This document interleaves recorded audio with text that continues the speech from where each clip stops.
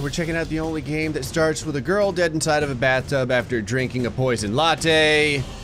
It's Detective Masters. Detective Masters is what you get when you cross psychopathic developers with the murder mystery trope. Everything in this entire game is screwed up. And it's your job to solve the mystery and then like throw people into black holes or put them into a giant microwave, you'll understand. So we're met with our first case here. We must find four clues in order to move on. Anytime I see a pair of fuzzy handcuffs, like this has to be, yep, totally a clue. I don't like to think that I'm perfect at solving crime, but there's literally just a wallet filled with money. That's not a clue? How? Also, how do I know that she's dead? She could just be resting.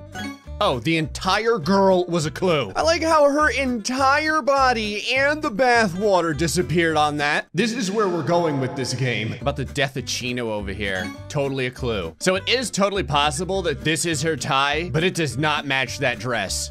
Told you. All right, so now we move on to stage two. I have to find four more. Okay, so now it's got to, okay, good. So things that I had clicked on before still kind of count. Bam! Now we have to interview this witness, Lizzie Wilson was a friend of the murdered girl, works in the brothel, and may or may not have a huge dent on the left side of her head. Here we go. Oh, we're just interviewing her right next to the dead body of her friend. You know what? Why not? Hi, sweetie. My name is Red Butterfly. That's like the dumbest thing to lie about. No one has a name that bad, although she actually does have a butterfly on her. Okay, actually, my name is Lizzie. I didn't actually think that your first name was Red and your last name was Butterfly. I thought it was more like a superhero moniker, like a super prostitutioner moniker. I work in this brothel as an accountant. I love how that one, the suspicion meter is like, hell no. See, she's only red butterfly for eight hours out of the day, but she's not an accountant 24 hours out of the day. My God, she's so angry she ate her own lipstick. Oh, it's back. Jane, the deceased, and I were close friends. What's her real name? She a Florida girl? Be like Crimson Alligator or something? And I know who killed her, her regular client, a vile politician. You could have just said politician. So once we get through this, oh, never mind. The things just took a turn. She's back to lying to me. I was gonna say, once we get through this, we get to interview the guy and then beat the hell out of him and eventually throw him inside of a black hole. Well, there's a bunch of different ways to kill him. That's just the one I would like to choose. What are you lying about? Actually, he owes me a hundred bucks, but he threatened Jane also. All right, let's see who the, really? I'm sure this is one of those games that's like, this person has no resemblance to people living or deceased. Ah, it's Ronald Gump, Forrest's older, blonder brother. So, dear officer, for what reason you called me? I came to ask you about your Google Translate grammar. What makes you think I was at the crime scene? Both of these are amazing. Is this his underwear? I want to choose this just to choose it. A bold guess, but I don't wear a G-string. Listen, it was 50-50, okay? Look, you moron, I can use my influence to get you fired. Hit him, please don't do this. I'm gonna let you folks know right now, anytime there's something that costs gems, I'm picking it because it's always the best op. Oh my god, it's a freaking taser! Detective, how about a reward for closing this case? You got it! Oh, I can still execute him even though I took the reward. Oh my, and I do get the black hole ending. I told you, if if I have the gems, we're spending it. Thanks for the money. You can keep the G-string. Later. Yeet! What the hell is this? Hannah, girlfriend, pretty girl from the cafe. What is there, like a romance side plot in this game? I didn't think it was that deep. Why am I like interrogating her? Oh, is this like the love meter? Good morning. What would you like to order? One black coffee, no sugar. How about your number, sweetie? Oh God. What is this setup back here? This doesn't look like a coffee shop. It looks like a real estate agent desk. All right, go ahead with the number. If you like sweets, I recommend you try our specials, a chocolate cake. Oh yeah, I recommend seeing a specialist for the stroke the left side of your face just had. By the way, I am Hannah. Never seen you here before. Aren't you local? I have an unremarkable face or I come from the land of your dreams. This pickup line does not exist in the world of dating. I'm picking it though. Wow! I never think a tough guy like you can be so romantic with that pickup line. I spend all my day tasing people and throwing them into black holes. What does a guy like you do for a living? Both of these answers are awful. I'm not even really a detective. At this point, I've just been beating people until they tell me what I want to know. I have killed a lot of people though. The scar on your face, was it another overly dangerous mission? A drug lord stabbed me in the face. I cut myself while eating canned tuna. Honesty is the best policy. She doesn't think so. I should have just lied. Do you have weekends? What are you doing this Saturday? With everything that I've screwed up, she has a 10% like ability to deal with me and we could still go out for dinner. Hannah, I don't know what the hell that was, but I'm going to go cry myself to sleep after the lines I had to read you. What the hell happened here? How the hell are people so angry about spaghetti? There is blood everywhere. It could also just be sauce. See now, as a detective, just like every movie I've ever seen with detectives, you gotta taste the evidence. You grab this right here, you go, Yep, that's human blood, all right.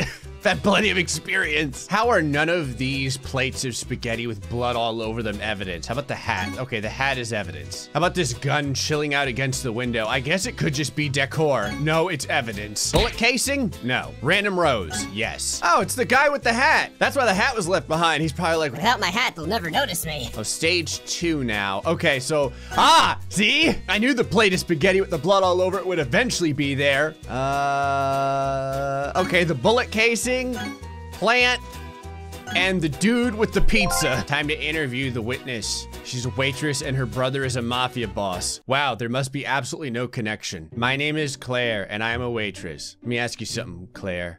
Does this taste like blood to you? That'd be great if she was like, you like blood too? All right, I guess we're going with the truth. I saw how my boss was shot. I'm so sorry for him. So what happens if I screw this up? What if I'm like, yeah, that sounds like a truth. The shooter was wearing a suit and a hat, just like a real mafia. You know, I'm gonna pick all the wrong answers just to see what happens. I'm telling the truth. Everything was just like a Godfather movie, but I have no idea who this mafiosi is. Yep, truce all around. I hope you catch him. I'll bet you do. Also, you gonna eat that back there? Oh, you actually have to do it over again? Son of a bitch. All right, you friggin' liar.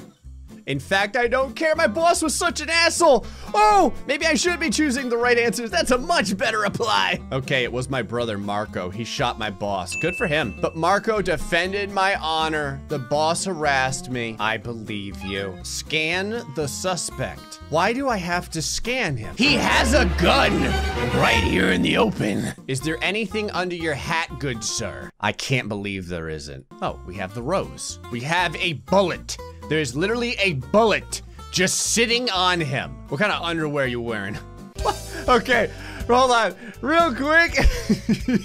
What's your favorite store in the mall? This guy's like, Victoria's Secret. is he carrying an entire, like, Tommy gun in his groin? I like how he said I was framed. Brother, if you managed to somehow shove that through the fly of your pants, I should let you go. Time to interrogate the suspect. What are you looking at? I'm a law-abiding citizen. I'm Lady Gaga? You carry a gun.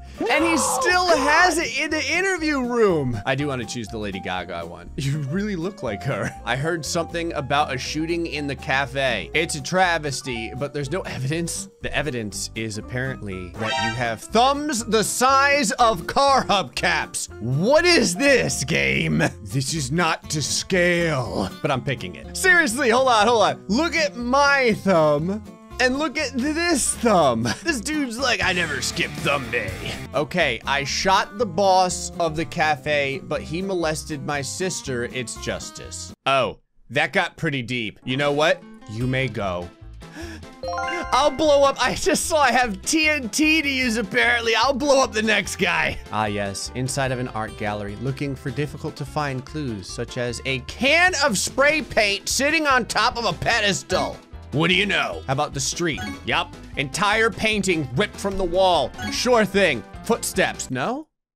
Bunch of crap. Crowbar. Why are these footsteps not evidence? Okay, this, this, uh... Oh, and apparently a clock. I don't know why that's evidence, but sure. Gotta interview the witness. Jason Parker works in the art gallery. Is a very arrogant snob. Finally, you are here. I am the owner of this perfect gallery. I thought about choosing all the wrong answers, but now I just want to kick this guy's ass. Okay, okay, I'm not the owner. I'm his deputy. What the hell is a deputy art gallery owner? Also, why do you hold your hands like like you're getting ready to karate chop me. The precious painting was stolen. It's worth hundreds of millions. Okay, so that's a big lie. So I'm guessing it's worth like a $20 Starbucks gift card. Well, maybe not hundreds of millions, but just a million. Oh, we're still going down this road. It's a fake. In fact, the painting costs nothing. Why am I even here? The sad part is, is that it's gonna cost more to wipe the graffiti off the wall than it will to replace the painting. The thief was able to bypass our advanced security system. I don't think this person's told one truth yet. We saved on surveillance cameras. Sean Mars, 19 years old. Suspected of stealing the painting and likes to draw graffiti and play video games. I feel kind of bad. I resonate with this young man due to the video games, but I have to use the TNT to kill somebody. Hey, I know my rights. I want a lawyer. Actually, you- you're correct. You actually do get a lawyer. But a lawyer won't help you from the TNT, bitch. By the way, is the stolen painting really so expensive? It's a fake.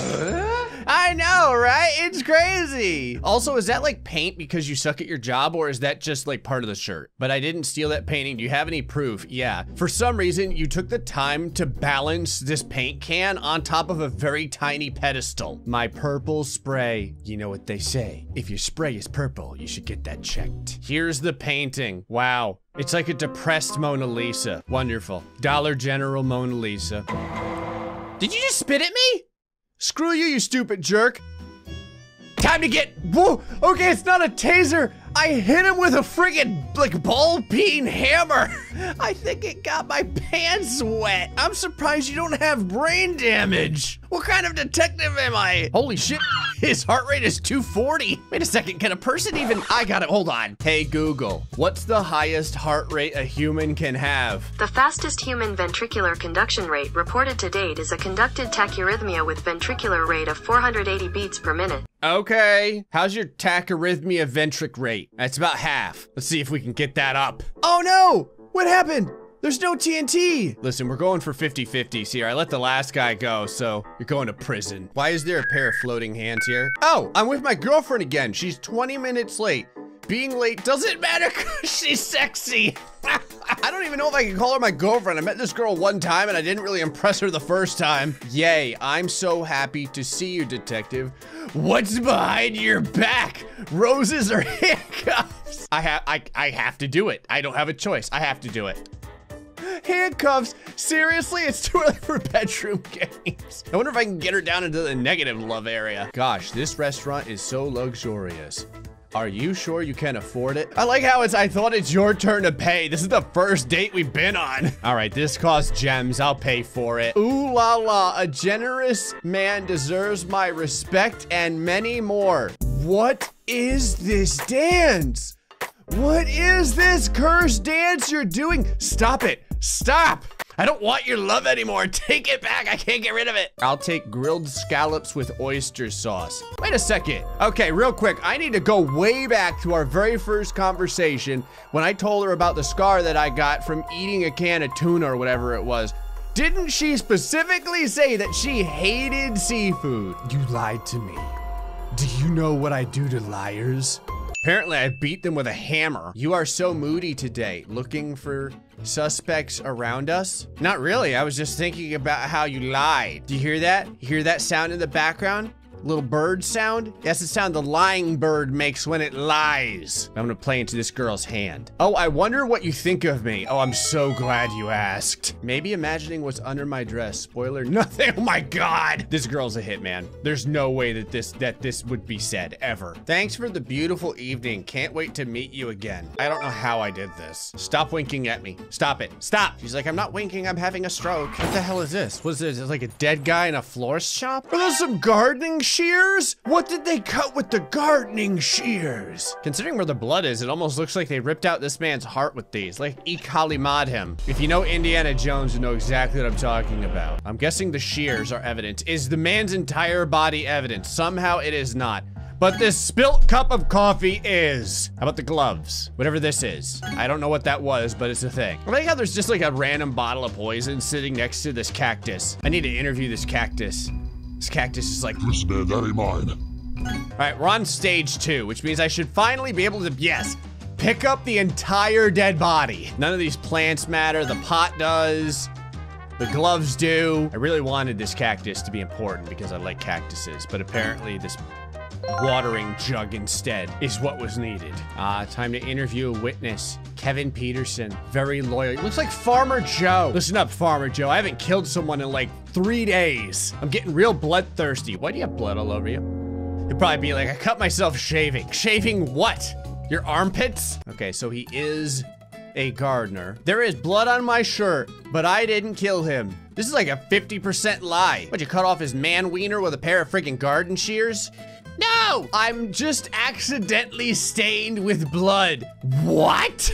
accidentally stained with blood. That's like saying you accidentally shot someone, but not like, you know, you were holding the gun and the gun went off. Like they ran into your bullet. When I found his body, I was scared and called the police immediately. The lying bird is back. His wife is grieving. She even refused to go to the nail salon. It's very traumatic. Mr. Miller was a good man. He certainly had no enemies. Listen, I've got a lot of time and like 40 pounds of TNT. In fact, he was such a cheapskate, everyone hated him. I love, real quick, I love how this game is, says this dude was very loyal. And in the end, he's like, oh, everyone hated him. Screw that guy. His wife didn't even love him. Ah, the suspect. The suspect is huge. What is this lady, like six foot two? All right, what do you got on you? Besides 12 inch stilettos, what the hell? Why are you carrying a bloody pair of shears in your bra. That is both unhygienic and dangerous. She's like, well, I was trying to get away with murder. Yeah, well, now you have hepatitis. What else you got on you? People come in this friggin' jail. They end up with, what the hell is this? They come in this jail and they end up with entire shotguns hiding inside of their underwear. All right, we got Donna Miller, suspected of murdering her husband, received a huge inheritance. The evidence is, you know, the pair of bloody garden shears that she keeps inside of her bra. Explain immediately why you brought me into this hole. Well, I haven't killed anyone in 72 hours and I've lost my mind. How dare you suspect me? I love my husband and I'm now in mourning? You're dressed like for a celebration. Let me pick out my finest grammar. Also, what, uh, what are you wearing, like an entire swan around your neck? I have no motive to kill my husband. You want the fortune. Technically, I want the fortune. Enough games. Show evidence proving I killed my husband. I mean, technically both of these are evidence. Well, technically this thing's everywhere. It was on the crime scene. It was like sitting up against her boob. I'm pretty sure I tripped over this getting out of my car in the parking lot. Where did you get that? What, did you forget about the entire x-ray strip search thing? What do we have, like MIB brain neuralizers in here? Okay, my husband was seriously ill and I eased his suffering. Wow. See, she's begging for forgiveness. You could let her go. Or you could burn her alive. Blood for the blood god! Oh no, I was going on a cruise to spend the money of my murdered husband. You deserve this so much. That's right, Flail. Oh, she actually is a pile of ash. Well, I just solved a few murders and committed a few more. So we're right back to where we started. Anyway, folks, hope y'all enjoyed this episode of Detective Masters. Until next time, stay fucked, much love.